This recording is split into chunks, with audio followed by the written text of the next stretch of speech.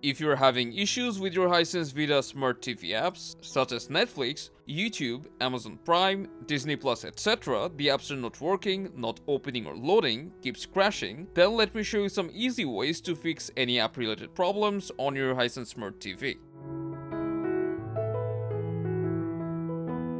No matter which app you're having issues with, the easiest way to fix it is by cold booting your TV. You just need to disconnect your TV from the power source, wait for around 5 minutes, then turn your TV back on. Then try launching the app again and see if it's fixed.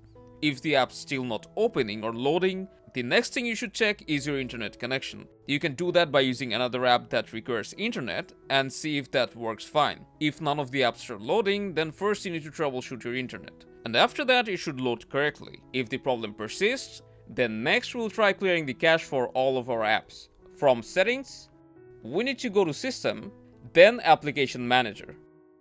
Select Clear Cache and hit Clear.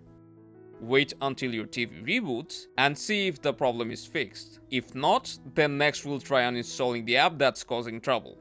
To do that, from the home screen we will need to go to More Apps, then highlight the app you want to uninstall, long press the OK button, and then select the Remove option to uninstall. After that, you can go to App Store and install it back. If the issue is still not fixed, then as a last resort, you can reset your TV to factory default and that should fix it.